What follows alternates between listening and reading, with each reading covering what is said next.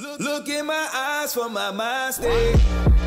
I'm on the grind 25 8. Money on my mind, that's how I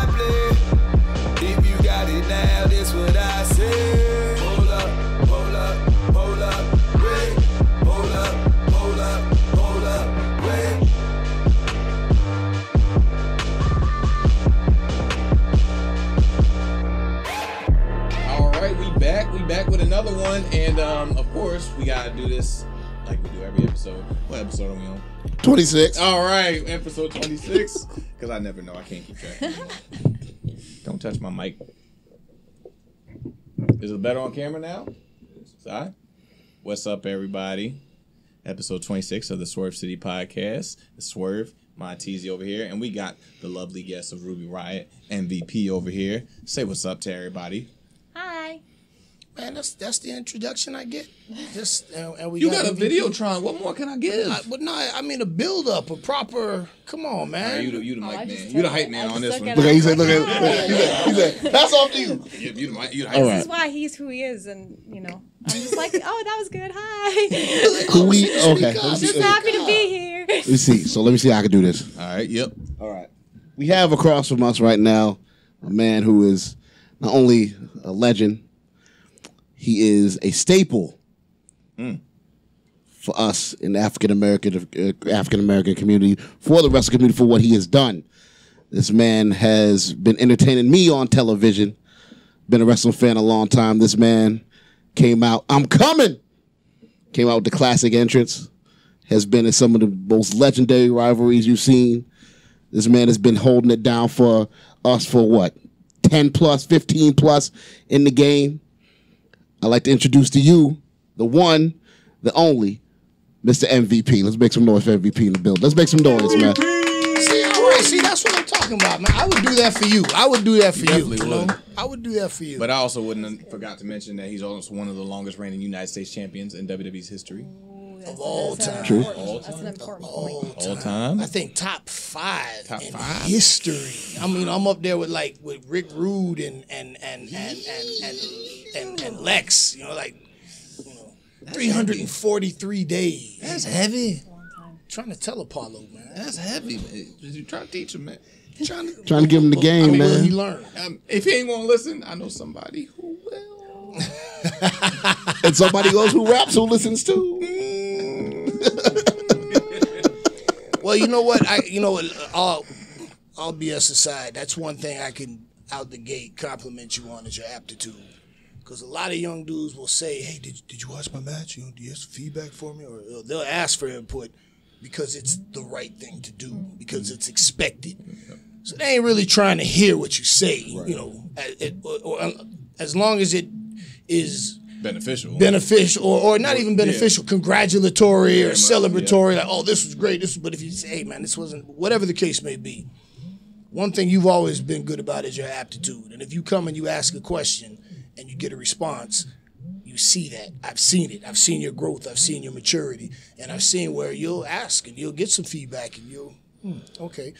And then later on, that that was discussed is put into play. And I, what I try to explain to people, it's all in the details, man. A lot of guys can do awesome moves and this, shit, but it's the details. It's those little things in between, and that's where you're coming into your own as you start to break out. It's those little details. So I appreciate you, man. Your aptitude, man. Seriously, I didn't. I didn't even know. I, like it's at this point, it's I don't even know who's watching anymore. I just mm-hmm. do, and I but I definitely take in a lot of the stuff. Like I never also make the same mistake twice. I try not to. that's sometimes that's the it, aptitude I'm talking about. sometimes it happens. You, you don't mean for it to, obviously. Right. Like you don't try to make that like Right. oh, but even if you do make that mistake, you should know like after I did it again. Yep. Mm. I'll get it next time. So, but and that that's what's helped me like move forward, mm-hmm. and especially without your guidance, a lot of like a lot of things, especially what I'm seeing you do now on television, is blowing my mind. And now seeing you backstage much. with you, seeing where he's boom, boom, boom, boom, here, here, here, this TV, Everywhere. this, there, there. I'm like. I gotta, I gotta congratulate this man. I had to send him a text the other night, say like, "Yo, Yeah, I truly admire cool, everything that you're doing. Mm-hmm. Like, I would love to at the age and like for future for future purposes, I would love to be in a position to where you are right now. You know that, and that's not too many of us that can say that they can even do half of that, Right. and and their prime. Oh, I Not, can- you know what I mean? It's I, crazy. I can safely say that seeing all of the different roles that you've played, none of them are sacrificed from the other. Like you are all in in all parts of what you're doing, and so like when you see like you're every time equally. you know yeah and it's all equal and nothing's like it's all great like everything that you're doing. Man, I'm not just saying that- saying that 'cause I'm sitting next to you. And, I, you just saying that because I put you over on commentary all the time. oh, that's all. he he said says that. nice things about me. Did that. Now that's flattering. Thanks a lot, man. That, that that means a lot. And you know what? Just to at this stage of the game, to be back in the game like I am, I never planned on going back to WWE. Right. I had no intention of ever going back. We you gonna know. get into that in a And second, so, man. You know, we to, gonna get to into be that. here and doing what I'm doing now, and I'm, I'm having a blast, man. Hold on to that though, because we're gonna get into that. But first, we got to thank Around Seattle, our sponsor for the podcast. Without him, none of this would be possible. You know, he got the banner, he got the microphone, he got the lights, he got the curtains, and he is still supporting us from afar, even Absolutely. throughout this like tough times going on around the world with the pandemic and everything. Well, Seattle, we appreciate you. Thank you for everything you're doing and supporting us, even from all the way out Seattle. And you gotta subscribe to the podcast. Where can they watch it? youtube.com backslash swerve city podcast so graphics coming back up soon but you guys can check that out at youtube.com backslash swerve city podcast and if you guys want to know how to spell it because you guys always ask me that i'm the only one that gets this that's how you spell it see there's one r that's city not, It's not- that's how you spell city because you'd be surprised How many And- vowels in there? and- and- I see three. and podcast p-o-d-c-a-s-t podcast There we go. there we go Now we're gonna start this thing and get this rolling with uh, Miss Ruby Riott over here. What's that? Longtime friends right here, yeah. man. Oh yeah. And where do we start with this? Because I can't read your handwriting. Well, after 26 episodes, the truth finally comes out. So, um, you know, let's start this from where you're at now. Recently, you uh, you just came back from injury, correct? And you know that could be debilitating to some people, depending on what the injury is. You know how how much time it takes to come back, because that's more mental Right. than anything a lot of the times. Your body's going to recover, but it's just that physical, that mental grind to get back to that point. Tell us a little bit about the injury and your comeback to where you're at now. Um, so, for everybody who doesn't know, I had um, two torn labrums in both of my shoulders. Um, I had to have seven anchors put in this one and eight in this one, and then had a bone chip removed from underneath. Um, I had What'd you do? Dive off a bridge? Or something? no, apparently, according to my surgeon, I had both injuries for ten years. So I Yeah, got that's it. what I was gonna ask you. Yeah, they Like, were they were Yeah. they were from when I started. Like I, I had originated the tear when I started, but and then ten years of wrestling happened, and they just progressively got worse and worse and worse and worse, and um, I had the first surgery, and then six months later I had the second surgery, and then I was out for a total of about ten months total. Um, Ladies and gentlemen, I just want to say this woman worked for a number of years with two torn labrum. She didn't take off a month for turf toe. Okay? Just let's remind you. All right? I did. Walking boot and all. uh, it, but that was like that was the hard thing about like the mental part of all of it. Like I, like shoulders were definitely tough rehab. It was you know like it was my first, I guess you could say like real injury, um, and it was something that like because I had dealt with it for so long, I kind of had a choice as to when I went and got it taken care of. Like it's something that you can progress. It's not like an immediate like if you tear your ACL or or whatever like an immediate thing that you have to have fixed right away. It's something that like you can know about. You just kind of have to pick the time, which because the time wasn't chosen for me, the time was never right. Like I, I was like, oh, I got this to do. Oh, I got this to do. This can wait. Like my shoulders can wait. My shoulders Yep. can wait. And I put it off and I put it off and I put it off to a point to where like I could barely work out. I noticed it the most in the gym um, when I tried to do any like wide grip bench press. Like my shoulders would pop out of place. Sacrifice something. Yeah, and like a lot of stuff in the ring, like I worked around it, you know, for for a number of years, and it was it was a it was a tough ten months. Um, I was home alone a lot, and uh, mentally, I think it was I had to like go down to like the deepest parts of like me and like here and like i had to actually like seek out and get some some help. Um, and um, I like I've just recently become more open about this because I think this is something like mental health is definitely something that I feel like because we don't talk about it a lot, people think that you know any kind of mental illness or disorder is wrong or is bad. Um, so I I like to be open with it. I have adult ADHD. I have anxiety, and I sometimes suffer from depression. Um, and so like that kind of recognizing that and like being like, okay, this is what I have now. What am I gonna do?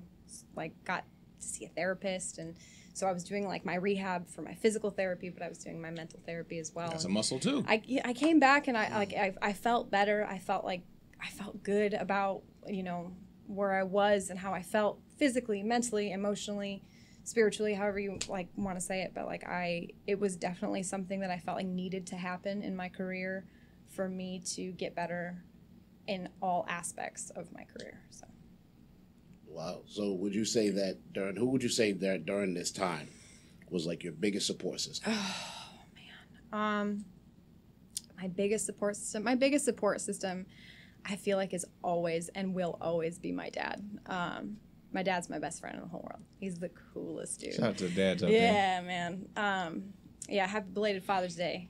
By the Oh, way. yeah? yeah, happy belated Yeah. Father's Day. Yeah. Thank you. Um, Appreciate it. Especially fa- fathers of daughters. yeah, we're Especially. Two. Especially fathers of daughters. a daughter. I'm sorry.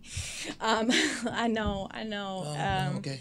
yeah he's he's uh, he's put up with a lot from me but um, and he's not always supported wrestling um, it was never his first choice for me. As a father to a daughter, I get it. yeah i can i can understand it i can understand it And and well, first, your daughter comes and, and her hair is green and she's tatted up and she's straight She's punk rock and you're like, First off, your pants legs ain't even even.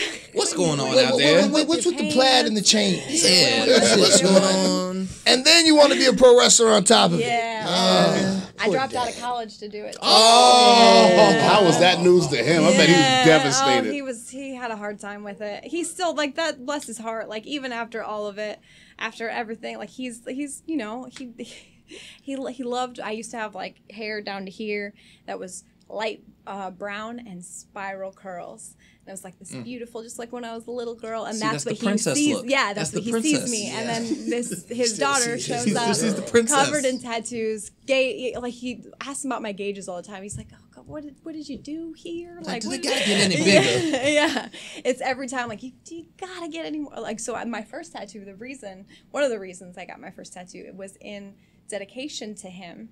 So I, so he wouldn't be as mad. That's I see, why I see what you it. did there. Is that the So, proverbial yeah. backhanded compliment? Uh-huh. yeah. Essentially. So he wouldn't be as mad. I'm like, I got this. It's for you. It's the the song lyrics from "What a Wonderful World" by Louis Armstrong. He used to sing that to me when I was a baby. So that's our, like our song or whatever. So I got like the lyrics. I'm like, Dad, this is for you. Like this, and it's a terribly drawn. I got it when I was 17. Like so, he was pissed, but he was like, ah, you know, I'll take. it. But then I just started. I was like, I was like, okay, there's my gateway, and just covered myself. Like, I didn't say that. yeah, but So I say to myself, what a wonderful world. that was good. That was good.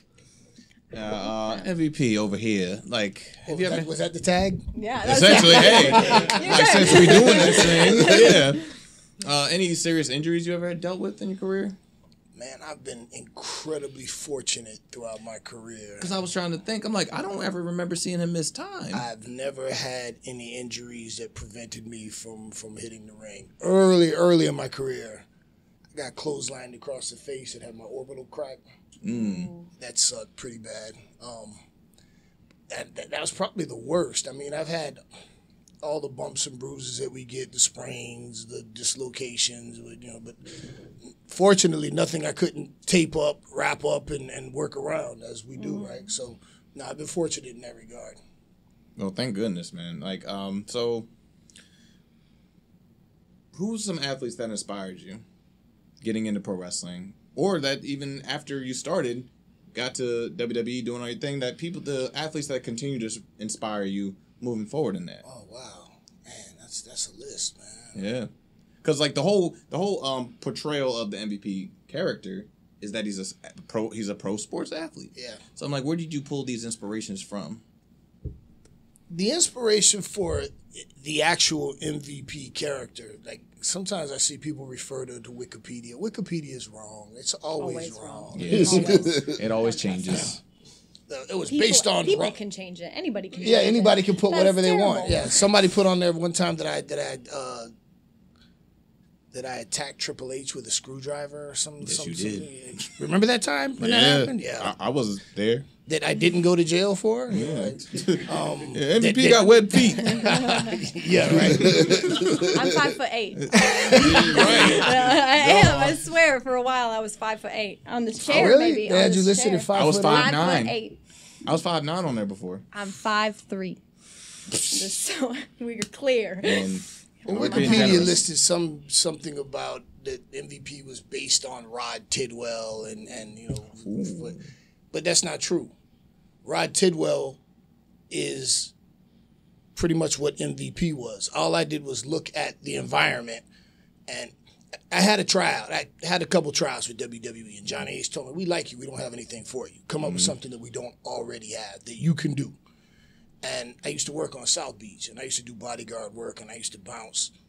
And I would see these pro athletes come to the club like the world owed them something, you know. And, and man, I remember I, I, I saw Shaq, I saw Dr. J, I saw Barry Sanders, I saw like first ballot, led true definition legendary Hall of Famers. Nice, humble, cordial, and respectful. And then you see like the Dolphins' third round draft pick shows up with an entourage. What up? Yeah. What, what you mean I can't get in with shorts? Like, dude, dude, who are you, man? You know, I know you can't get in with shorts, man. Get So out of here. Bro, you weren't undrafted, man. So then the guy at the door be like, "You, you, you, you, come on, come on." Yeah, And you gotta stop him at the door. Yeah, like, no, whoa, whoa, whoa, man, you yeah, can't yeah, let the yeah. Who are you, yeah, man? yeah. Man, it's my party, you know. So I You seen me at the basically, game Sunday? I, you didn't see you at the You game were at- Sunday. See you. But uh, you know, around it, with with the rise of SportsCenter, you know, you had all of these pro athletes that every week you turn on SportsCenter, there's some pro athlete that's saying or doing something stupid. You Get know? that attention. Like I remember I actually did a promo one time at, at Deep South when developmental. Yes, when sir. I, I borrowed from Allen Iverson. I'm like practice? Yeah. Are we really? Are we really talking about practice? So I took inspiration from everything that was wrong with pro sports, all the pompous, self-absorbed pro athletes, and I rolled that into one character, and I presented it to them, and they went. We like that. Okay, let's Yeah. do some business. So that's where MVP. That's what inspired MVP. What what clicked with me with the character, like first off, was like the character never lost. Even if you lost, you never lost. You were LeVar Ball way before him.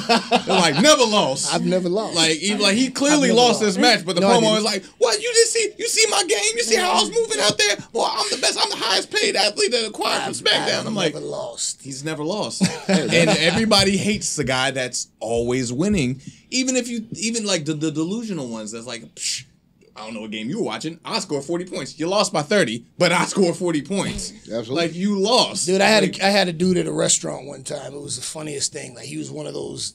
Uh, I guess one of those. It's still real to me, damn it. You know. you gotta love them. So he made some slick remark as I was, and I was actually cashing out, and uh, he made a slick remark uh, about me getting beat by somebody, and I'm like, beat by who? Nah, nah, that wasn't me. No, I saw it. I watched you. You didn't watch me, not me. In less than five minutes, I had this dude standing at the restaurant screaming at the top of his. I saw you. You lost. I saw. You telling me I didn't see it? And I'm just as calm as could be. Not, not me. It wasn't me. And people are looking, and this guy's all excited. And I'm like, hey, listen, man, you need to do something with all that anger, man, and maybe get your eyes checked because I didn't lose. And I walked out. This dude screaming, no, but he lo- he's lying. He's lying. I saw it. Right. And he's worked up. And I'm like, okay, he'll be booing me from now on. So But tell, but then he's also going to like watch Right. everything on like the next match. He'll be like, oh, no, he's gonna lose. Yeah. yeah. Yeah. He's gonna lose. and I'm gonna, yep. But you know, it's, it's, it's funny how times have changed though. Like once I got into the WWE, my first go around, I got called into the office for being a heel in public. Like, no, you're not a heel. You're a superstar. You're a television star. So I came in on that cusp where we like we Mm-hmm. That's stopped. Deep South though. Right. Yeah. Mm-hmm. We, we at Deep South we were still hey when you're out of here in the neighborhood you're still in character you know Yeah. sell the character, but once you get called up it's like no at that point you're a TV star. Just don't don't be mean to people. Mm-hmm. And there were a few times when you know I got called in the office and I had to have that that conversation because I was mean to people. If I was at a restaurant, you came for an autograph, I was I, nah, man, get out of here. Don't disturb me while I'm eating, man. What's wrong with you, man? You know, people, like, mm. I can't believe. I was at the Waffle House one time with Truth in North Carolina after a, a, a, show, and this little kid came over, and the, and his people were sitting right behind us, a black family, and the little boy came over and said, we, remember he was chewing, he was, "Can I have your autograph?" I went, "That's how you ask." Said, Get from me, man. Your parents should have taught you some manners. That's not how you ask for anything. You rude and disrespectful. Beat it. I heard from the table, oh no, he didn't just what? And then I heard one of the girls at the table say, Oh, I wish Undertaker walked in here right now. Ooh. but the cool part of that is now at this stage, all these years later, when I run into, because I'm 46 now. So if I run into a dude that was watching me when he was in his teens, he's a grown ass man, you know, and, and I'm not, you know, that disconnect. So when the dude comes and like, yo, man, I was watching you when I was a kid. Yo, I used to hate you, man. Oh, I hated you. And every now and again, I'll run into somebody that goes, yo, I asked you for an autograph at a show one time and you tore my poster up and you walked away. I hated you. But years later, I was like, oh, man, that was awesome, man. Yeah. I'm like, all right, cool, man. You know, so that's, that's a There's cool thing. memories, man. I love That's that. what we do. We create memories for people, right? I mean, you got your memories, mm-hmm. specific memories from, oh man, I remember that one time I went to the show and they did this, and then, you don't remember who won or lost. No. You just remember the show and what happened. You know, individual, who, yeah. who made an impression and who didn't. Absolutely, absolutely. Um, so you know, going going to that story, there's always a, a journey on your way up to you know to the mountaintop or whatever dream you want to accomplish. Uh, tell us a little bit about what adversity did you go through because, to becoming a wrestler. What sto- What stories? Tell me a little bit like a story that you had that you went through something and it, it was a trying time, but you overcame it to get to your dream to where you're at now. Oh man, I, I the old broke hungry indie wrestler story. You know, like mm-hmm. I, I got a whole bunch of them. Share ours too. You know? oh yeah. we, we got them, you know, trying to make it happen. I, I, I used to sell weed to support my wrestling habit. You know, like I'd be on the road, and I mean, at that point, I'm, I'm my, I think I was at that point I was working on top in Florida, and I was making a hundred bucks. You know, mm-hmm. and I and I drove an expedition. So I'm going from Miami to Tampa to St. Pete to Orlando to Ocoee to all these you know areas. So I'm drinking gas, you know. So really, at this point, like wrestling was an expensive habit, you Yeah. know, a very expensive hobby. So I had a little thing where at certain shows it was worked out where you know you go over there, get your envelope, and then go back in the cut, CMVP, and get broke. Well, back then Antonio Banks, you know, get broke off of what you smoking off of the night, and okay, now I got enough to get a place to stay, get something to eat, mm-hmm. and gas to get back home because wrestling wasn't paying the bills. So in terms of struggle. You weren't doing the eight by tens and No, the t-shirts at no, the time. 'cause not that at was the time. expensive. And and and that wasn't a really Wow. Oh. Boy. Still clean. what. Hey man, that dude right there looks like he's ready to start singing for 112 or something. Bro, he looked like he roast you at lunch, bro. like, yo, Tony, yo, he don't want no problems. nah, but at that time, like, and me and Joe were talking about this. Yes. Like, we didn't have Twitter, we didn't have YouTube, we social media didn't exist yet. So like being a, making a living on the indies, traveling on the indies wasn't really a thing. Like, yeah, I had that picture, Antonio. If, if I was lucky, if I sold two or three of them at a show, you know, for mm-hmm. five dollars, maybe, you know, but there wasn't merch like that. So you know, it, it was really, really a grind back then, and nobody was making any money. Everybody was. The, I had jobs where they would tell me, "Well, you got to work on Saturday." Okay, Nope. I quit. See, Yep. you. I told you when I took this job, I can't work Saturdays. Well, you got to work this Saturday. Well, you got to find somebody to cover my spot. I'm out. You know, mm-hmm. so that that was a common thing. You know, as far as any specific, we our stories are the same. I don't have anything mm-hmm. specific. Right. But I do have one story that I like to tell, and my buddy reminded me of it today. I used to work at City Furniture.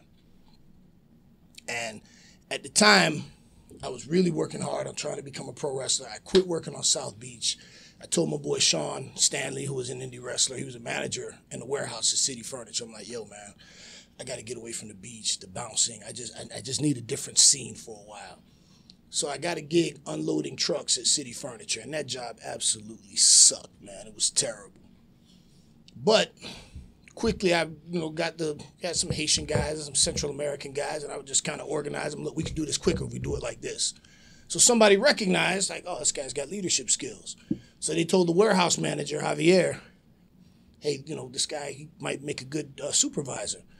So Javier sees me and said, hey, I've been hearing good things about you. If you want to move up in this company, come see me sometime. I want to be a pro wrestler. I don't want to work here, but I need bread. And I'm, you know, supervisors make pretty good money at this place. And Conflicting. and the floor manager knew I was a wrestler, so he kind of looked out for me with weekends and you know scheduling and whatnot. So I went into the cafeteria and I saw Javier with his flunkies, his fellow floor managers, and I said, "Hey Javier, uh, I'd like to talk to you about you know moving up." And he said, "Well, what do you want to do with your life?" And I said, "Well, I'm going to be a professional wrestler, but until that happens, you know, until Vince calls, you know, I can work here." And he, this is exactly what he did. He looked at his buddies and went, "Pfft. if Vince calls you to work for him, the Doors are going to call me to be their lead singer. And I went, okay, all right, that's cool, you know. Toodaloo. I got fired not too long after that, Yeah. you know. But fast forward, I came back down to South Florida to do a CCW show, my old home indie. WWE approved for MVP to come to CCW. And my boy Sean, of course, he came to the show. And I brought an MVP. No, Sean actually brought the MVP action figure. And I signed it, Dear Javier, have the mm. doors called you yet? And Sean took that to work. That's too good. That's too Bli- oh, bliss. Oh, love karma at its finest. Revenge is a dish best served. but that's a but that's a good that's a good revenge though. That's Yeah. a positive. So Some mm-hmm. people try to take this revenge and throw it back in people's faces as a mm-hmm. negative to downplay them. No, this is an uplifting one to say Yeah. like, "Hey, thank you for inspiring me Right. to make it here." Because No, no, no. That one was a fuck you. no, there was no. I, there was. I got no inspiration from him. That one was just a hey. fuck you. I was trying to babyface this one. No, no. They're like, no, Make- no. Leave it what it is. Yeah, all right, all right. Fuck you, Javier. Uh, so, so talked about your outlaw lifestyle for the moment. Hi. We've had a Talk discussion. about outlaws. We we have a discussion when we were doing the photo shoot for the Black Craft Yeah. fo- uh, clothing. You were sharing some stories about your outlaw ways. I'm so excited about it. Oh, I was waiting. I'm like, and yo, no, no, no offense to you. I wanted to get to this Oh, story I'm right so here. None, none taken. I want to get there too. Yeah. Oh gosh. Let's talk about your run in with the law, All right. Miss Riott. Set the scene Words, Wait, name wait. so fitting. right there. You didn't rip a tag off a mattress, did you? Worse. Worse, worse. Worse. You ready for There's something worse than that? Ready for this? That's that's fair. That's, that's okay. I'm I'm I'm about to to Break paint a it down. picture. Paint a picture for y'all. Um so we're we're talking about we talked about a lot of things, a lot of stories. Which one in particular are you I want talking about? all of 'em. Okay. All right. Well, I'm gonna hit you We with got time. the- Give me everything. with OCWA, which is, um, I believe, Outlaw or Outcast Wrestling Association, Too many letters already. something like that. I, honestly, yeah, it's, That's it's too lot. much. That's It's too lot. much to follow. Elkhart, Indiana. I'm from Indiana. For those of you who don't know, some of the Watch some other interviews for that. You want to watch uh, this the interview, this show for this. the finest bad indies you can possibly imagine. Did you say the finest bad indies? Oh yeah, I sure Cream of the did. crop. Elkhart, Indiana is about 45 minutes to a half hour away from like where my hometown is. So I took this show. And uh, this particular company, I walked in and I knew, you know, it was, it, it, I was super early just trying to get any work that I could, a- anywhere that I could. Um, and I walked in, and it's like a, a garage, like um, um like a like a mechanic garage is where this show is. Um, and I, there were like blankets like pinned to the wall of like wolves. There was like wolf blankets on the wall. I'm pretty sure there was like a deer Is head. that like to set the decor? I think that was the decor. all Like they didn't want to do wallpaper; they just chose That sounds like a recording studio. So, um, so we recorded in the bag. so we get there, and uh, the promoter is this like this this guy looks like he might be like on something because like his eyes he doesn't blink like ever, and his like he's just like running around a million miles a minute. He's like real thin guy, and he walks up to us, and it, first thing he asks. And this is how I know that this is a terrifying thing. Is first thing he asks is, "Which one of y'all is a wrestler?" He did not know the people he booked on the show. so people forgot at one point they were so astonished that somebody would ask this question that people forgot to raise their hands because no one's ever been asked that You were processing that. Which Did- one did- of did y'all he is wrestler? Some of us had to like ask that? raise the other one's hand because you couldn't like believe that this man this man is asking this question. Tell the He'd wrestler from the who he popcorn vendors. And so he Was popcorn? he had like put together the show or whatever the lineup and everything and he goes y'all i got an idea. And i don't even really know who he was talking to. He just came up to a oh, group of people. And in this scenario he the way he set this up he was about to blow our minds. And he was like want to do a show on the water? We're gonna put the wrestling ring on water jugs. And then y'all are gonna do your entrances on jet skis and we're like where's the crowd gonna sit? They're like, they're gonna be on the beach on in beach chairs, but you know they'll see the action. You know they'll see it coming, and I'm like, we're in Elkhart, Indiana. Where do you think we're gonna do? I like I just couldn't wrap my head around the idea that he was The telling ring us. starts floating away. Like, Uh, oh, yo, there oh, goes there the goes, match. there goes. um, Like, I, I, I, I'm reminded. Uh, don't lose your place. but I- this is a perfect. A long time ago, my buddy Bruno Sassi told this guy, this wannabe promoter, same thing. I got an idea, and his answer was classic. How can you have an idea when you don't even have a clue? that's good. That's good. I First wish I would have said that. He wants him. to get a ring in On, on pontoons Yeah. to float. on like Yes. the, the I think his idea like I want to say somebody asked him and somebody told him those those big blue like jugs that I you know what see you're Yeah, talking. yeah, I don't holding up. Yeah, Yeah, like, That's what the don't- 50 gallon was. jug. So- yeah, they so wanted that's- put like upgrading from the garage. yeah So we're going from the garage to the to water. this. Lakefront. Which by the way, Lakefront. There's there's no ocean within a long time, so it's going to be like Lake Michigan. Or That's- like yeah. a really small man-made lake or something, or a pond Right. somewhere, or we're just gonna be in a puddle, and that's just how it's gonna work. Bash with the Pile drivers on Yeah, the pond. That's the name of the show. Right. it's let's do let's go right now um but he he was just he was the most entertaining man i've ever met in my life and he then uh second most excuse me third most oh my god i can't he just he, he was just he was fourth You say something like that in a room full of I entertainers. meant, Wow. I meant in a different kind of way Okay, okay. Well, we'll clarify. uh, Mike the Goat fifth, you yes, know? Yes, I meant in a different kind of way. Um, but he then tells a group of guys.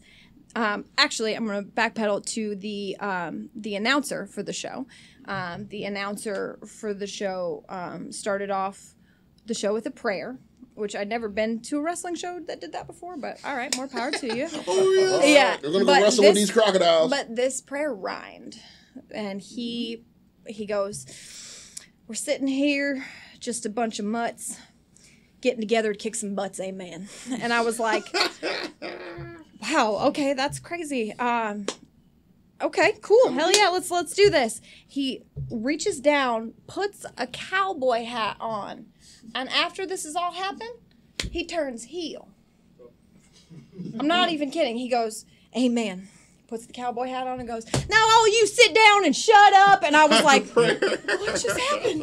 What just like this whole time he did the national anthem, like all the whole nine yards had talked about. Overcome by demons. But the cowboy, hat man did it to him, and it just The hat was possessed. it had to have been Like, oh. he just like went into a trance or something. It was unbelievable, and I was like, okay, We're what here. is- we're here now. We're doing it. Then the the the finale, and I watched this happen. So otherwise, I wouldn't believe it. I swear. Is he comes up to everybody and he tells everybody this spot that he wants to do, and he wants the heels to to douse him with lighter fluid set him on fire, mm-hmm. and then gorilla press him onto the baby faces. This is the spot he wants to happen. I promise. With lighter fluid. With lighter fluid. Now here's what actually happened. Okay, here we go. here we go. In the theory. heels sprinkle him with lighter fluid. It's not a lot. They don't douse him. They like sprinkle him, and they set him on fire. And he's on fire. And they So that- grab him. Achieved. They grabbed him, but because he's on fire, it probably hurt to grab him. So they just threw him, and there was no baby faces on the ground. also, I'm pretty sure they were at concession stand. Like they were at the concession stand getting like a hot dog and like, yeah, we'll get you later. And nobody was there to put him out. This man is on fire on the ground. and no one was there to put him out. So the I have heels no sympathy who for just- stupidity. the heels who just set him on fire had to get out of the ring and pat him down. I promise. We didn't mean that, dog. Oops. it was We just meant to heat things up. unbelievable. I've never seen anything like this. They also had um, pudding at the concession stand, and they spelled it P U T T I N G. So let me ask you this: Do you think that that promoter had heat? I d- Excuse me. I got, yeah, I got. Uh-oh, yeah. Episode 26, everybody.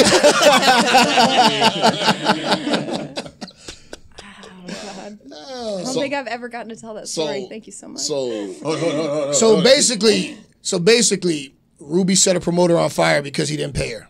That's what we'll do. Let's go That's that. where Let's we'll- go that we'll route. do that. cool. But running with the law. Oh, that one. Gotcha. Like we said, we had we talked about so much that was Oh that yeah. was oh, take your time. uh, so. this will be on. Yeah, I this thought will- you were going to jail for setting a man on fire. I, you okay. know what? Uh, In comparison to what I actually went to jail for, I, oh man, It- All right, I let's wish have it it. was. Let's I wish it. it was. I wish it was for a different. Like I went to jail twice for driving with a suspended license. I swear. Okay, Tupac. I, it's the worst. It's the worst thing. It's I don't even know. I didn't even know they arrested people for driving with a suspended license. Yes, they Yeah, it. I happened to me. didn't me. even know that I had a suspended license. And that'll happen too. I had my license suspended because I had insurance, but in the wrong state. I had it in the wrong state. They suspended my license. I didn't know it. I got pulled over. Wait a Um, minute. Are you gonna get your teardrop tattooed right here? I don't bail fresh out of jail, California.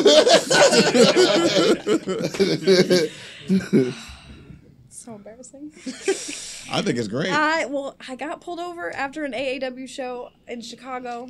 if you said I got pulled over after an AA meeting, I was gonna be like, hey, Tell you.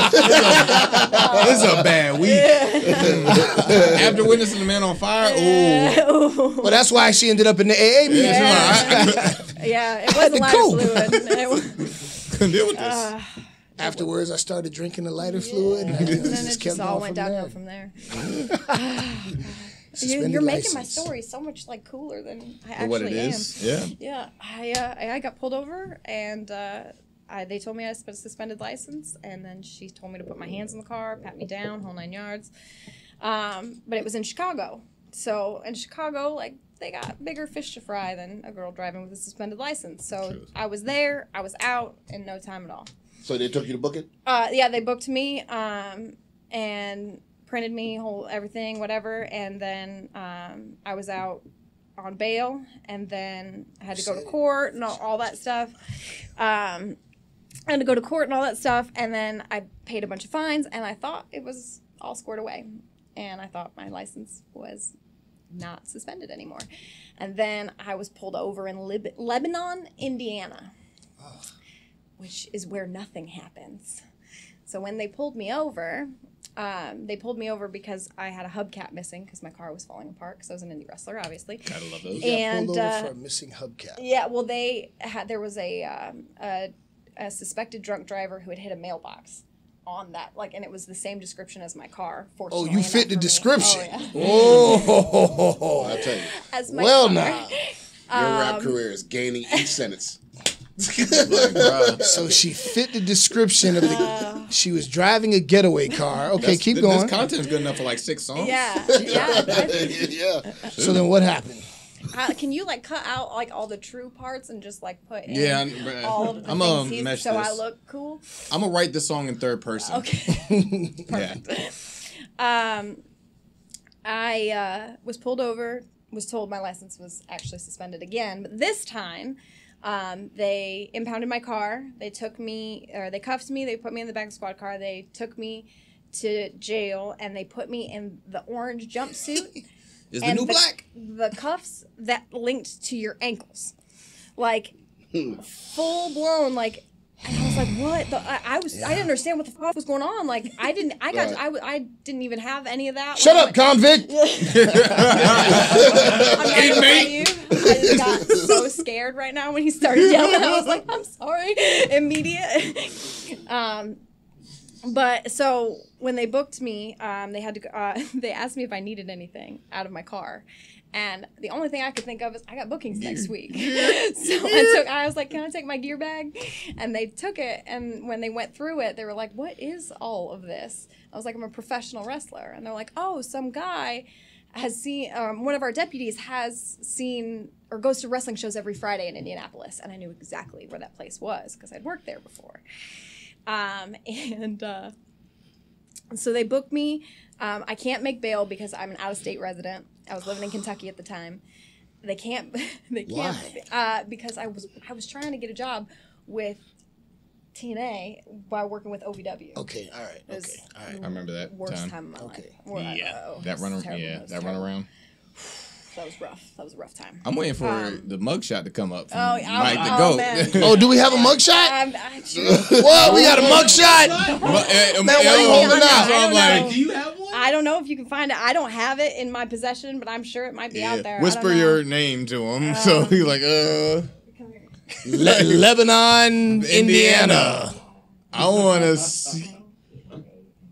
I want to see this. Um, so uh, see if you can find it. But um, Meanwhile. I knew where this promotion was that he was talking about. And he was like, luckily he's not on duty today. And I was like, oh, thank God.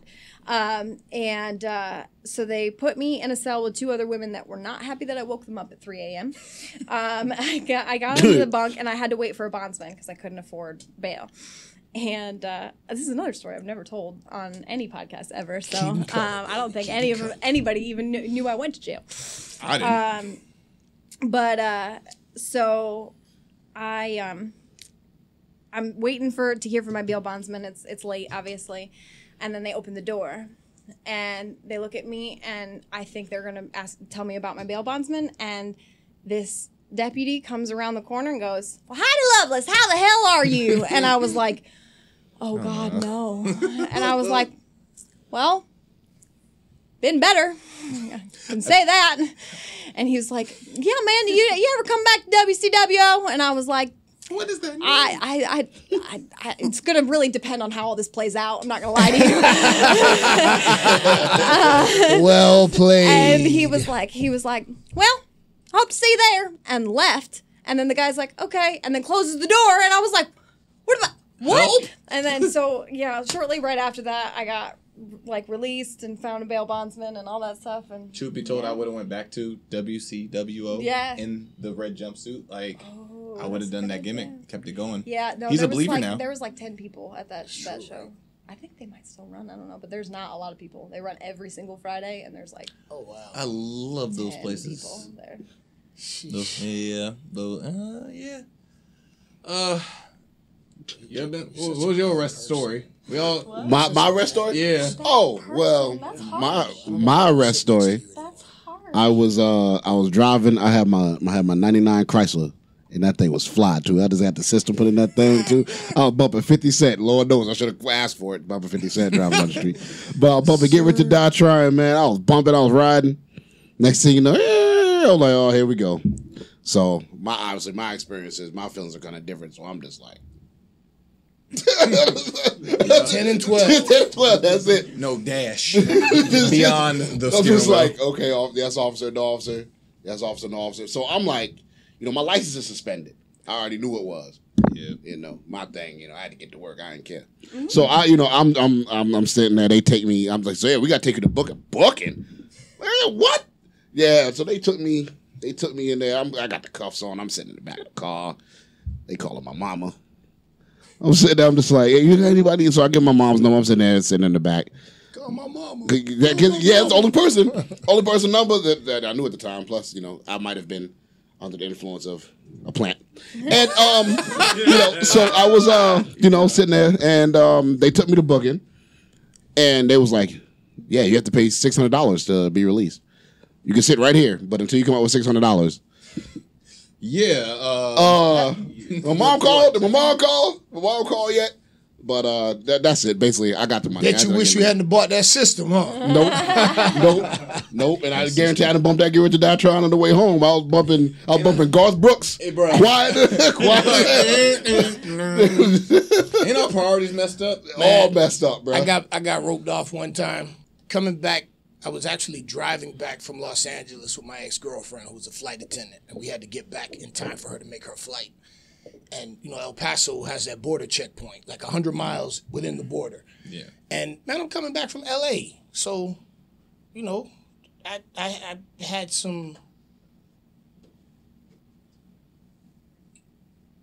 Uh, I don't, I don't, I don't know how we get down on this podcast. You, but before you said a plant, I don't, you know, I, I, Okay. man, I have some weed in the car. okay, I got you. Man, F it, man. I had Cool, weed. bro. Cool. Lord.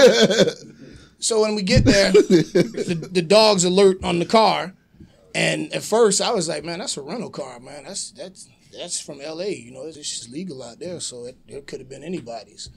But my ex girlfriend was a resident; she wasn't a citizen, and she had to get to work. And I just see the look on her face, and I'm like. Man, if they take this girl in the back to have a conversation, we ain't talking no more. So now I cop to it. I see, yeah, that was my. It wasn't much. It was just, you know. But while I'm sitting in there, the lieutenant, little fat Mexican dude with his bars, and he comes walking through, and, and he, I see him eyeing me down. I'm like, here go this dude. You know. He sits down at the computer and starts tapping away, and he's looking at me, and he's looking at the screen, and I'm like, here we go. A few minutes later, he comes over and he goes, MVP. How you doing, man? And I'm like, obviously I'm not doing too well. And he goes, oh man, don't worry, man, you're good. You'll, they're gonna come write you a ticket. You'll be out of here in a little while. He goes, man, you're not the only guy that's been here. Sabu's been here. RVD's been here. so at that point, I was like, well, I'm in good company. Oh, here. yeah. And it was, I think, a five hundred dollar fine and a waste of about two or three hours that I had to sit there. So Yeah. Oh man. Such a cool story. So we're gonna take it back to Ruby. We're gonna go back into the wrestling realm a little bit. Okay. Um. So when did you? Wait, what, around what year was it you first got it into NXT? Into NXT, Mm-hmm. I got hired in t- January of 2017. I, my first day was my birthday. Actually. Really January. interesting. Yeah, it was a great birthday Really cool. present. Pow. Pow! That's not the it is. mugshot I was looking for, but I'll take it. hey, they had a thing on the wraps. Uh, there it is. You had to go through some There encryption codes to get that picture. but yeah, uh, talk So about this day first of so all. So hopeful. Look at that girl. She's just so hopeful. Hopeful. Hopeful. Um, and she's just happy to be there, cause like I, so obviously like you know the dream is always to get here. Yeah. Like this is this is the top, you know. Um, but I, I didn't. That wasn't even a fathomable idea for me. Like Yeah. I was like, I am not what they hire. So, I know that's just not even like I didn't even like like I try to even look at it because I just knew that I was not the type of girl that they hired. Do you think that's the reason why you get this opportunity? Maybe. Because you're not what the I I, typical and I thing think I is? can I I was just one of my things I say all the time. I was in the right place at the right time. Very true. Like this is a time for women that is the most empowering time because we're you know we're changing things. We're we're showing you different kinds of women that come from all different kinds of walks Yep. of life, and and it's an amazing time to be a women's wrestler. Um, but coming up, that's not what I saw. You know what I mean? Like I didn't see women like me. Like you know what I mean? Like I did see like Lita had like you know she was alternative. She had Yeah, she was the tattoos and one. stuff, but like she was also still she was gorgeous and she like I don't know like I just She could actually wrestle. yeah and she could go and like I love that, but like I just didn't think for me I was like I'm you know, a small town kid from from Indiana like. What, what, who would want to like you know what I mean in a division Mm-hmm. full of like women who are like these gorgeous supermodel kind of girls like it just wasn't me. And I also am not gonna lie I'm not good at trying to be sexy. I don't know how to say that without just outright saying it. It's just not something that organically comes across when I work for OVW um like obviously when it was with um uh TNA. I don't know. She's pretty sexy to me. Oh, stop. He's so nice. Um, but like when I work, like I, they were having me wear like, you need to wear tighter clothing. You need to stop wrestling like, Yeah, um, I've like, heard those. uh, like men with boobs. That was what I was told. Stop wrestling like men with boobs.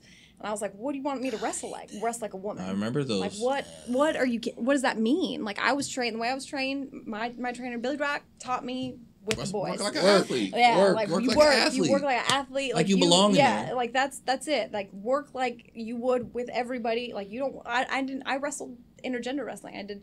I wrestled men and I wrestled women, and like and, and, and I, I I get the disdain for it. I get it, but like I've done it. I but like you know what I mean like I think that if you can convince whoever your opponent is like to just treat you as like a smaller competitor Mm-hmm. and like we tell that same story you know what I mean? Like I, I feel like you're doing your job as a performer. You know you like you don't look you look at me as a small performer not as a woman like uh, because I'm weaker because I'm a different sex like you know what I mean I don't know Well, there's that whole biology thing, but you know.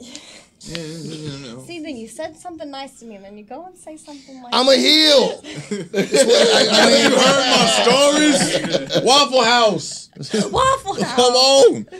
But but like, I just didn't think it was possible, and then you know, I like and, and what I noticed, well, this is all the things I come like. I always like see every every every uh, component to the roster. Mm-hmm. Like this person provides this, this person provides this. Right. Mm-hmm. These two like cancel out each other. That that right there provides something. we just you know, ev- working beautiful everything is a piece that provides Mm-hmm. something, even if it's three of, of one kind.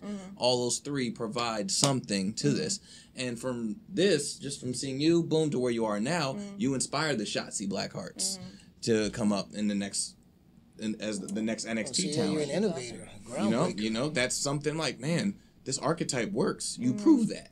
Lita proved that in early Yeah, 2000s. oh yeah, for sure. 99, 2000s. You Yeah. Mm. proved that in 2017 that this works, you know? So now Shotzi's going to prove it in 2020. So are you in the in main roster and all that stuff. So there's the evolution of that. So what I'm going to ask you about, like, do you see yourself in leadership roles to NXT, the Performance Center, Mm-hmm. the, the girls down there now? Do you see yourself, like, communicating with them much? Giving them some of the advice that you went through. Things changed, of course, from when you were there Yeah. to what it is now. Well, I was honestly, like I said, my whole career has been right place, right time. I was honestly only in NXT for nine months. Yeah, I remember this. I was I, I was hired. My first day at NXT was January 9th. Um, and then I was called up on um, November 21st um, of that same year. Um, Very fast. and that was when the Riott Squad debuted. And uh, Riott Squad. To call Riott Squad. Um, but so I didn't have as much experience in NXT as I would have liked. Um, I like as much as I was very happy with the position that I was in. Like I would have would have never said no to it. I was really happy with it. There's a camaraderie in NXT that that you know that I, I that I can see and I can feel when I'm there. That like y'all are just like you know what I mean? Like you're you're proving something. It was it was a it was a familiar feeling. It was like you know it wasn't I don't want to compare it to the indies but like it's that com- that indie camaraderie of like we're here like we're proving it day in day out that we're doing this. Like you know what I mean? Like it was just it was this grind that I just Yeah. I loved. And and I that's one thing I do I'm I'm sad that I missed out on a little bit. But as far as being a leader um if anybody like approaches me and like asks me questions, I will always answer to the best of my ability. But like if you know me personally, I don't know why, and I don't know if it's because like I held some of my my veterans to such a high standard that like I don't feel like I am what you would call a veteran and I also have only been with WWE for 4 years when there are other women that have been there longer even though I've been wrestling technically longer but WWE is its own entity. So you know what I mean? Like I I don't carry myself I feel like like a veteran Yeah. um, to anyone and i just i don't know like i feel like that's helped me and hurt me and and different occasions. Um, and uh, i feel like it's gotten me treated a little bit like a rookie sometimes and i feel like that's also shown you know that i that i don't like i like that i don't i'm humble you know in a sense Right. in a sense like i guess i don't know if that's but what like you know i don't know I think advice and like um. If, if i'm asked for Yeah. it but i don't unsolicited advice i don't I with any of understand that. that, but it's still perception. Mm-hmm. Like I always look at like the best advice comes from different perceptions of things. Mm-hmm. Yeah. You know, you're like I'm still going to ask you about a lot of things, Right. and I'm not even you? like I Yeah. Mm-hmm. dabble in main roster with 205 Live, but I'm not entrenched in the Raw SmackDown the locker room. But there's still a lot for me to take from you with your perception of how things move. Mm-hmm. Right. I've never been to like a WrestleMania. You've been on one, you know. I there's that's different perception. So Mm-hmm. There's things Whoa. to take from that. It is. She, No, I'm, I'm, she's I'm, I'm giving her some big ups right now. Yeah. So she's Whoa. in my eyes, you're my veteran. Oh, get You know what I mean? WrestleMania. Boom! Look at that. I want a picture like that someday, and I want to work to have that. Anybody want to know? Even that was super cool. This moment was super cool. Um, I tapped out to Ronda in two minutes um, at this exact pay per view, but one of my favorite it's a gear. Um, It is but hard. that is hard. the next night, at when I was like feeling kind of like I was happy, I was excited, I was on Elimination Chamber, but like you know, I you know I tapped out in two minutes. Like it, it I was a little bummed. Um, the next night, I main evented Raw with Ronda and had one of my favorite matches that I've ever had on the Boom. roster. Hey, shout out one time for the exploited Hell patch. yeah. One time for Waddy. Yeah. See, see, he One time for Waddy. yeah. Yeah. catches all that. But man, like, I don't know, I would consider you a veteran. You're my one of my veterans. I, that that is bonkers to hear. I need you It is, right? Right? Like you saying that to me after like I've come to you on the indies and been like, hey man, we watched my match. Like I'm like, who was you watching? I like, uh, kind like I like for you to say that to me is mind blowing because like I don't, I can't. I'm I'm still that weird girl from Indiana. Like that's always gonna be me. So I can't see myself as that. So when other people do, like I when I was hurt, I came to the performance center um, to do rehab and to get cleared and everything. And Sarah had me sit down with the class and was like, mm-hmm. "Hey, what do you think that we can do better to prepare people for like, you know what I mean, like to go to Raw or SmackDown? Like, what do you think?" That, and like, everyone's looking at me and watching me, They and I'm the- like, they want the, they want the, they want the, oh, That dish, that Yeah, scoop. I don't like. feed us. I don't even like the fact that all those people were paying attention to me at Yeah. the same time is mind blowing. I'm like, I don't. Oh my god! And like, I I said what I could, you know what I mean? But it was just, it was just, it doesn't. It, it it's a weird role for me to even try and get That's, comfortable. in. that's a position though that You're gonna be placed in. it it, it, it happens. Mm-hmm. You grow into it. You don't okay, okay, I'm a locker room leader. Just Yeah. one day you look around and, and I, I went through this. You just look around and you're like, oh, this, I'm, I, I'm the oldest person here. Or I'm the most experienced person here. And you know, it's it's just it's not. It's one of those things that the people who want to be leaders don't need to be leaders. yeah. And the people who just naturally emerge Mm-hmm. as leaders. Yep. I mean, being a veteran, as we know from working on the indies, you've got that that person that works one match a month Mm-hmm. for 15 years. And brother, I've been around for 15 years, and yeah, but you've you've had a few dozen matches. You know, you're working every weekend, three, four shots, and you you're going, you're going, you're going. That veteranship is one of those things that's defined by experience and presence. And it's like a it's a thing you grow into. Yeah. My dad always told me that, like, you know, if, if you have to say you're something, then you're not that Yeah. something. Ah. Yeah. So, like, if you have Mm-hmm. to say, hey, I'm a leader, like, no, you, you, you, if you have to tell me, then you're really not. Like, you know what I mean? You got to show me. And, like, Uh-huh. I've, I've always kind of, like, Yeah. felt that way Like, about, like, I don't. long, how long you been rapping? Man, um, 16 years. Yeah, I'm pretty sure you'd ask Lil Nas X for some advice though. Yeah, like anybody who's at a certain at a certain point, Certain level of certain level, yeah, Sure. yeah, absolutely. Because I because I don't. I, perceives the business it's a a respect way. too. Like you know, Yeah. you Yeah. respect somebody's You respect work. somebody, You you respect know. somebody's work, no matter. The I would ask Lil level Nas X to just do us all a favor and never make another song again. That's what I would. ask. No, do a song, but let me be featured in it. Uh, I'm, I, you know, Hey. okay, well, There, right, there's you know. something to get from from it. Hey man, you know, garbage sells, man. It's popular. Hey, but if I'm the hotness on that garbage, I take these. I was just saying, you take the payday. You take the payday. I get I it. think you take the get it. opportunities when you get I know it. what's happening right now. I like you, Lil Nas X. I don't. I, I don't know the guy. I just don't care for the I, I music. actually met him. I mean, he might be a great guy, so I'm not mean, disparaging the guy, but the, Right. the music is just like, uh, that's painful for him. but also too, it's, it's a good. It's Old a, Town Road. It, it brings um Old Town Road. uh a good a good point though, and what you and what you said. Take my horse to the That's a- town road. that thing slap, Oh, boy. oh. Look at that. Oh, oh, I don't. I'm gonna ask him where he got that hat. I'm so sorry, but I don't like that song. That thing slaps. Like it, it's just Got the and remix it- on right but here. the, the, the, like, uh, there's so many t- like weird. Yes, stupid it slaps videos, my eardrums and with it its offensiveness. It, like, it, yes. it just it hits my just mo- but like I and I, and I don't mean this in any disrespect. vocals, most though. country hits my ears wrong. Most country, not all. Right. Most country like hits my ears wrong, and Would I can't hear it. Funny thing, we, we talked about this before uh, and heard this before. Would you say he's appropriating country?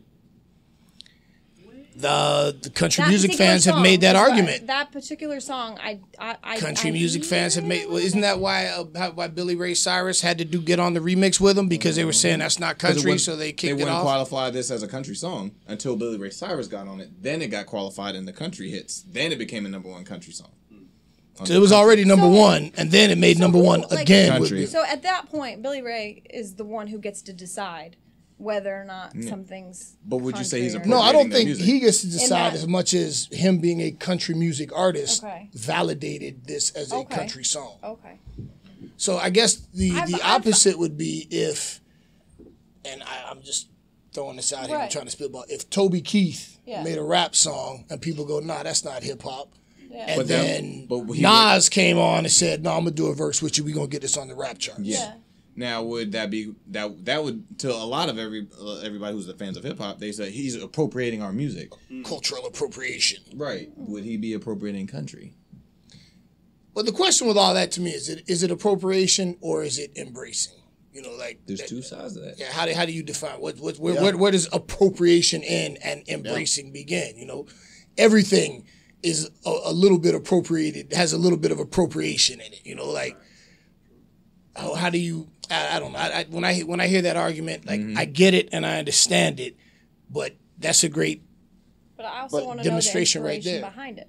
You know what I mean? Was it inspired by country? If it was, like that's where Exactly, You know what I mean? Like And there's no way to actually tell that Yeah. until unless It's, he it's, a, says it's, a, it's a lot of blurred lines and things that naturally give blurred you line. a, a good uh I know you want me. Sorry. a lot of um a lot of feeling like very, any a very anything that like invokes a feeling like wrestling music it's it's a lot of it's a lot of like blurred lines in you know Like, in those is- statements was Jimmy Wang Yang appropriating cowboys? It was he appropriating country? No, and Jimmy Yang Yang, Jimmy Wang Yang was cashing a paycheck. He's like, what do you want me to do? You got it, and that was the end of that. I ain't mad at it. Um, so, um, to piggyback off what I was asking Ruby, um, in your retirement, were you seeing a lot of talent that you would say you younger talent on the independents and even in the locker room today that you feel like you have like a connection with that you see like okay you relate to this person a little bit as far as like the next upcoming talent and core guys oh man, I'm that, I'm I'm glad you. Smart guy, perfect opportunity for me to put him over a little bit. See how he did that? Serve that I up saw it. I saw it. He's done this before. Can you please? Um, so 26 Well, I'll say this now, and I- I've said this to you before, and I'll, I'll say this to everybody watching. We had an opportunity to work together and Defy. And people who know me know that Seattle is one of my favorite cities. I love the Emerald City. I love the people. I love the vibe. I love Alki Beach. I love Queen Anne's. I just, I love it. Love that area. Great city. And uh, when I got a chance to work at Defy, I had al- I had heard about Defy, heard about the fans, heard about the venue, and uh, I had spoken to uh, uh, help me out, Matt Farmer. Matt Farmer. Thank you, Matt Farmer. Love you, man. And I told Matt, man, I'd, I'd really like to work with uh, with uh, Swerve. And he's, man, you we'd- we'd like to have you do that. We go, yeah, man, let's let's let's do it. Let's make it happen.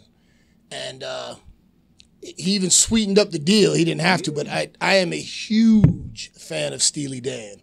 If anybody in here doesn't know Steely Dan, you know Steely Dan from hip hop, from samples, but you just don't Yeah, know. very true. So Absolutely. they hooked me up. Matt Farmer arranged for me to get tickets to the Key Arena to see Steely Dan and the Doobie Brothers before our match. I think it was like a Thursday, and then we worked what was like Friday or something. yeah. Hold on, Michael McDonald was with him. no, he was Michael McDonald wasn't with him. I kept waiting, hoping he would walk out from the back. he came from somewhere back in long ago. Um, but we had one of my absolute favorite matches, and I've had. I'm at the point in my career where I can say now I have had thousands of matches. But the match that we had that night was without question one of my favorite matches. I watched it back a few times and I was like, damn, that I had fun. It was exciting. We told a great story. That's me learning a lesson. Boy, what I tell you about that? that shoulder tackle ain't gonna work. If I'm not mistaken, I think I ate a kick right after that. I'm pretty sure. I think I ate a kick. like, kick oh, oh, I've seen this happen before. And and up. and he said, I'm not gonna let this old motherfucker talk to me like this." You this. have veins sticking out your head right here. Oh yeah, He yeah. meant- he was meant fired up. word. It was fired up. But the beauty of it was when it was all said and done, when the match was finished, um, I said then to the Defy audience, I said, "Man, you know my the clock is ticking. I know my time is coming near, but." I can say right now, as I get ready to leave this business, it, the business is in very, very good hands with guys like Shane Strickland. You know, I just, and as I was saying earlier, your aptitude, you study, you make mistakes, but when those mistakes are brought to your attention, you correct those mistakes. You push yourself. And there are guys, like I remember Ricochet. Mm. I used to say all the time, man, if he would just slow down and, and figure out a little bit more psychology and not do this just because he can. And I watched his maturity. And you know, and that match that I saw you guys have at a company who I won't mention their name because I'm not trying to put them over. I said, like, man, look at I watched both of the, the maturity in you guys as you mm-hmm. were coming along, being from indie rific guys that could do gravity defying ish to storytellers. So, not saying that you weren't before, but there's levels to everything. Right. So, you know, you look back at your work from a few years ago that you thought, man, I'm spitting, and you go back and you go, yeah, that was that that that wasn't as good as I thought it was. Absolutely. Yeah, you know. Absolutely. Mm-hmm. Oh, Absolutely. You go back and you look at oh. matches that you had when you thought, "Oh man, this was a this was a," and then you go, "Ooh, I wouldn't do that." Why was that? What was I thinking? Absolutely. What was my headspace? What in the hell were you doing? Do you have a match like that? Oh God, I have so many. Most of my indie Most, matches, right? Most Most. of my indie matches, I watched and I was like, what? Like, Why? I just being here, especially like like, and learning from some of like some of the the, the greatest of all time changes your perception of what you does. thought was cool Yeah. and like what you thought made sense and like worrying about if it made sense because Mm. i didn't really do that Stop and think about this, and this is what I, I try to tell some of the young guys sometimes. Like, you can do amazing things, and that's awesome. But is that amazing thing that you're doing going to get an emotional commitment from the audience? Bray Wyatt does not wrestle anymore. Bray Wyatt entertains. Bray Wyatt has become a rich man with characters. Yeah. Bray One of my Wyatt can't do a 450. Talk. But man, that, that give him the mic and let him be his per and, and people want to see that. Yep. When I came back as a producer and I got to do a few indie loops, his entrance. They wanted, man, the people wanted to see the entrance. I wa- and I was they there. wanted to see the fiend. They wanted to see bit bit bit bam, boom, say goodnight, it's over. That's all they wanted. And I thought, damn, right? Ooh, it's so what good. what the crazy thing was is like um especially when I started doing 205 and coming up to um on the road with everybody, I loved waiting till the last last I was the last person left to leave. I loved it because I got to see Bray and I got to also like everybody's gone, everybody's busy or Mm. was busy and everybody's like already on the road to the next town. Mm-hmm. I can I can talk to him now. He's not busy. There's no pro- there's no producers, there's no writers like on him. Now like I'm gonna ask him something. Or Roman, I get to like Dude, that's one of the biggest changes from when I was here last time till now. When Yeah. I was here the first go around, you had to stay and watch the main event. Yeah. There was no leaving early. You know, your ass better be in there watching Taker work. You, know? Mm-hmm. Yeah. you better be in there watching John Cena and Randy Orton. I you know? loved that, and I still to this day love that. I'm like, oh, I get to see like, especially I already went, and now I get to sit and like really watch. Mm-hmm. You know, I'm, I'm like, and sometimes I get to like get back and like look at the atmosphere I'm in Yeah. right now, and I'm watching this here, Yeah. and I'm like, I belong in here too. It's not like, oh, this is a guest pass to get back here. Yeah. That don't count. That's cheap. you work here. I belong Yeah. here. dude. You the, know? the progression, as as you know, because you've mm-hmm. done it, and as as you're you're going. I remember very clearly being at home. My my ex wife was the biggest Undertaker fan. She would get hyped. Mm-hmm. She didn't even like wrestling till I started doing it, and then she was questioning, "Hey, "Why you want to do this?" To jumping up and down, "Oh, Undertaker!" you don't get that excited at my matches. But when that gong would hit and the lights go out and you get the goosebumps and you're like, "Oh, there it is." Fast forward to now I'm in developmental, and very different from the performance center how it was, you know. But if it was within 300 miles, if if a WWE show was in 300 miles, we had to make the drive to the show. We had to go, and I remember the first time being in the building, standing in the back. When the lights went out and gong, like the mm-hmm. goosebumps, like oh That's a pa- damn, one sound got mm-hmm. people's reaction out of their seats. That is power. It's that. It's like it's the it's the the moment that that music hits, that that gong hits, And that and time. the eruption that happens immediately after. Yep. Lights go out, that happens, and the it's just there's nothing. Now I'm going to like fast forward feeling. one more time to going from being at home watching, from being in the back watching, to standing in the ring when the lights go out and the gong hits. That progression. Every night I got goosebumps. Every night. I love and that. to your point, I belong here. You belong there. The dead man's coming for me. It's not an Oh, accident. Like this isn't yeah. Like I, I made it. I'm here. We dress in the same locker room. This is my peer. This is who you This- belong this is- I- there. you're you're here for a reason. You did what you had to do. People said I can make money with her. You've been given an opportunity. When you stand in that ring, you're a WWE superstar. And to make that that that journey from Elkhart, Indiana, to Madison Square Garden. That's crazy. That's crazy. That's crazy, man. It's time to take it to Teasy's table where you can have some fun with these Lovely guests Well- of the evening. Well, uh, I'm gonna get through this. So tell me, you know, when you guys are on your road trips and you're uh, you're on that long car ride to the next town, what music do you have to have in your car? What's that car ride music? Uh oh. It's about to get good now. Yeah, what's the I, I would like first to hear this answer. yeah what's the what's the car ride music? You Because you on that you on that trip? legitimately, You got that since- three hour drive. because we speak about music most of the time. You you are the most varied person that likes all of Yeah. sorts of music Yeah, that my, I've ever met. and, so and that's why I very would say the interested car to ride see. music would depend on who I'm riding in the car with. Mm. And because Oh, so you're nice about it. Well, I mean, no, we're gonna listen to some of my shit too. Oh, okay, okay. But but I'm not I'm not gonna hijack the car. I, I you know like not because I but I like all kinds of music. True. So if if I'm riding in the car with you and someone else, then like, hey man, you take the wheel for a while, you run it. You know, like um, you know, riding with younger guys. I don't like a lot of the newer rap music. I'm you know I'm, I'm I'm shaking my. You kids don't know good music. I'm that guy now. you know. but I have young dudes that put me up. Oh man, have you heard this guy? You know, so I'm cool. Let's ride and put me up on some new stuff. You know, I just learned about the Flatbush Zombies a couple years ago. You know, so I'm like, okay, some of this new stuff is good. You know, like so. When it comes to car music, I got what I like, but I like a little bit of what everybody likes. Mm-hmm. So I, I can I can There's get something there, and yeah, in every Yeah. genre. You can pick Absolutely. So what is it? What is it about? I have to ask you this as well. What is it about that uh, the music that has changed as you are? You know, you probably grew up on the Pox and the Biggies and stuff like that. What? what Rock what, him, man. Rakim. Rock, Rakim. okay. Rakim's God and, MC. and uh and Kane and them right. So that time, Kool G at that time. Okay. So what is? what Gave is- my man power for four bucks an hour. Took my time. I wrote rhymes in the shower. That Kool G. Okay, I'm sorry. You sound like Dolomite right now. He's the one that set it off.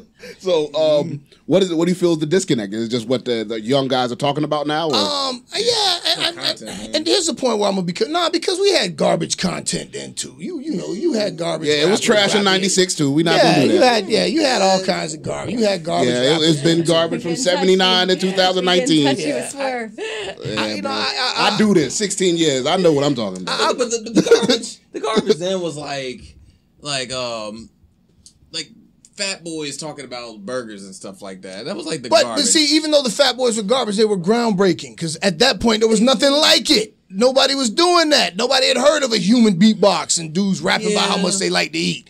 It was groundbreaking like, and it was uh, new. So there were people that, oh, this rap stuff is garbage in general. But at that point, you talking to me, man. I, when rap wasn't on the radio, there was no rap. There was no rap Yeah. station. On, on the black on the black station, you heard on the on Saturday they played a few rap Yeah, songs on the radio. remember that. Prior to that, there was none. So, this I guess a lot of the stuff, and I man, I'm I'm, I'm old man, but I like I, I mess with Ricochet sometimes, you know, with his tight ass clothes, you as know? you must. And I'm like, "Dawg, I come from the Wu Tang generation, you know, we were bad. My generation rapped about selling drugs and killing people. Your generation raps about taking drugs and killing yourself. I can't, I can't empathize, you know. Like I don't, I, I can't really. Like that kind of throws me off a little bit, you know. Not that killing people and selling drugs was good, but if I had to make a choice between Yeah. selling drugs and killing oh. people or taking drugs and killing myself, you know, I'm just I'm gonna just rap about being broke. Because that's what I knew. Ooh, my favorite So, part yeah, of the I- thing was Ricochet and his tight ass clothes. He's like, hold on, we're not going to zoom past Ricky saying tight clothes. His tight We're not just gonna get past.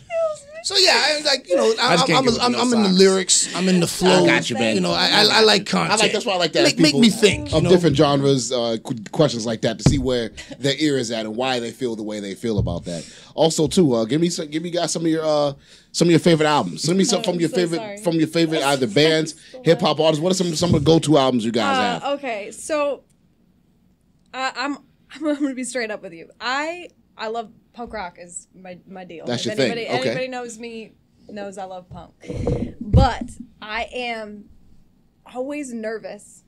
This is something no one knows. I'm always nervous to talk about punk with other people, um, particularly people that are punks, because while punk rock means you know you know freedom to me and means you know anti-establishment and just and and is, is so powerful to me and i do feel like it means like let's accept each other and, and just like you know, tear this up i'm so sorry i cursed um but like um i I'm, I'm gonna say how exactly how Sami Zayn said it one time. I am not. I don't consider myself a, a punk. I'm a professional wrestler who likes punk music because there's kind of not a hierarchy, I would say, but like there's kind of like a a classification of what makes you a punk. Yeah, And there are different people who can decide whether or not. Like I didn't start listening to punk music until I was 19 years old. Would you describe it as like, okay, I like gangster rap, but I'm not a gangster? It's, it's like same thing. Like I think all music genres. Maybe, maybe I don't know. Because you're punk as fuck. Uh, and So then, like you- I, I, I, I feel like anybody can be a punk. You know what I mean? I feel like uh, I'm, I'm trying to think of a good example. Like you know, John, Johnny Cash was a punk. You know what I mean? Like punk, punk is a state of mind. yeah, and that's I'm like, yeah, feel bring me like. into your world. Freddie Mercury was a punk. He was not what the societal norm wanted him to be. He he broke out and he made some beautiful music contradictory to what other people wanted him to be. And to me, that's what punk is.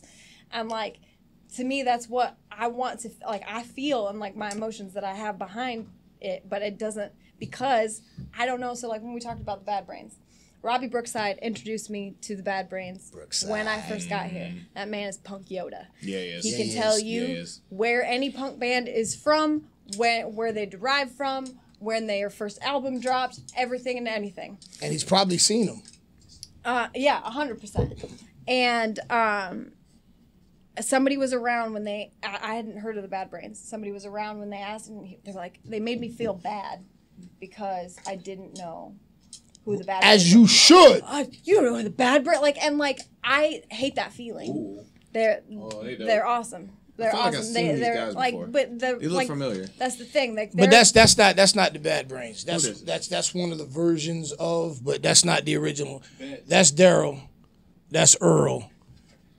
I don't know who that is. I, I think that might be Joseph Ibe, who came in as a singer for a while, and I don't know. Maybe he might have been playing the drums for a bit. I don't know, that's but HR. that's not HR. No? no, that's not HR at all. what they look like. And I don't know. Daryl cut his dreads, so I don't know what the hell's going on right there. I just but know what they sound but like. Bad Brains for history, like that's not find if you can find the album cover I Against I, you'll see it or, or Quickness, you'll see a good Quickness. Find a, a Quickness album cover, you'll see what they look like. But uh, my introduction to this music was I used to work with a guy who was a skinhead, and he was the one that taught me about the skinhead culture. And it's like it's, all skinheads aren't Nazis; they're not all. You know, I didn't know anything about this. He used to give me a ride home, and it was his car, his music. So I had to listen to, you know, old school New York City hardcore.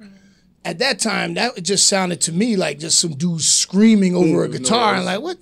Well, you ride with somebody long enough and you got to listen to this music after a little while you find yourself kind of bopping your head or you find yourself going like oh yeah i know i, I kind of like this song It- the exploited mm-hmm. that patchy had Yeah. the first song i ever heard from the exploited i'm riding with wes and just to give you an idea of like punk i hear this guy say you're gonna have to bleep this out but i hear this guy say i dedicate this song to thee jello biafra because I fucked his wife. It's called I Hate You. I Hate You. I Hate You. And at that moment, I went, I get that. in it. I, get that. yeah, Yeah, okay. There we go. That's the boys right there. Okay. That's HR, HR. legendary frontman. That's his brother Earl plays the drums. That's Daryl on the bass, and uh, Doctor Know, Gary Miller on the guitar. These dudes are from Washington D.C.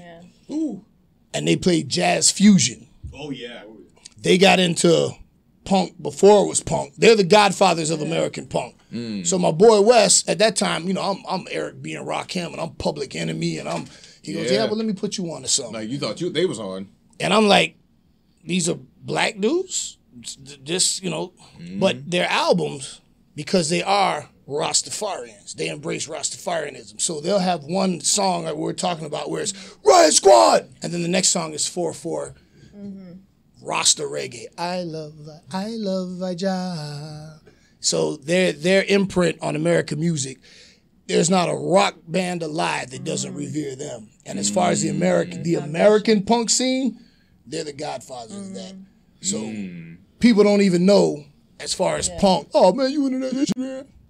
You know how they got the name the Bad Brains? Because man, y'all play that? Y'all you got some bad brains, man. Something's wrong with y'all, You know man. Oh, original name okay, was? okay, You know okay. what their original name was? Mind Mind Power. mind power. Yeah. Mind power. See? See? Yeah.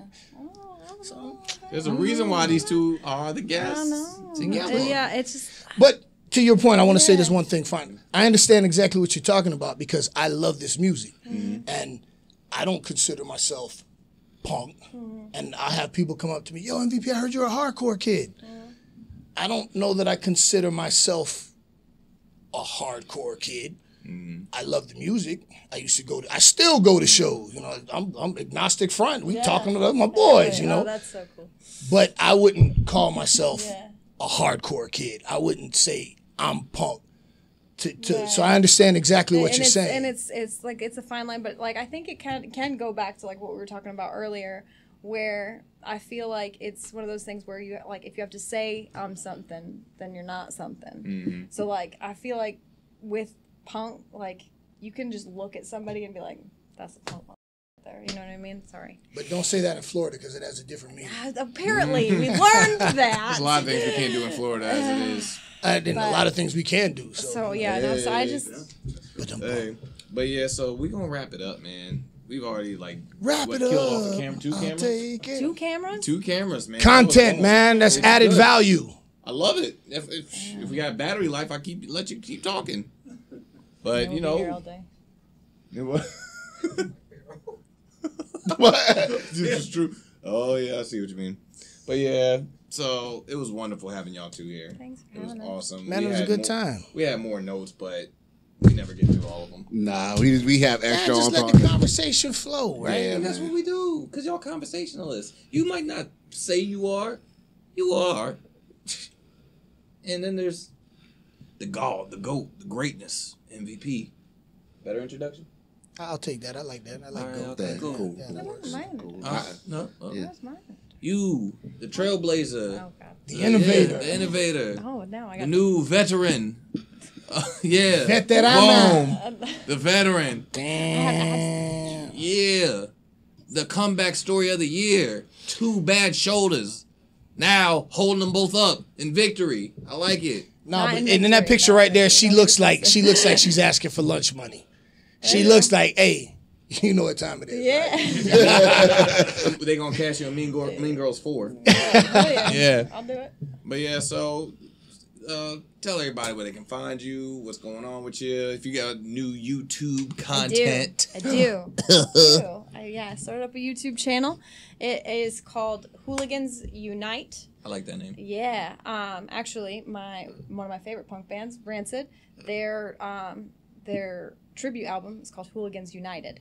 So I did Hooligans Unite um, um, because I love Shout out to the old firm casuals. Yes. Oh my god, you're so good. One And- time for Lars. And also Lars Frederiksen for letting me do that gear that one time in Elimination Chamber. Oh, that yeah, was dope. thank you, thank you. um, but um, I just started that YouTube channel, and we're um, doing donations for every month. We pick a different organization. Um, I'm working with a company called Punk Rock Saves Lives, um, and we're doing donations um, and charity and stuff for. Uh, for different causes this month um, because it is Pride Month. I'm Sonya Deville's shirt.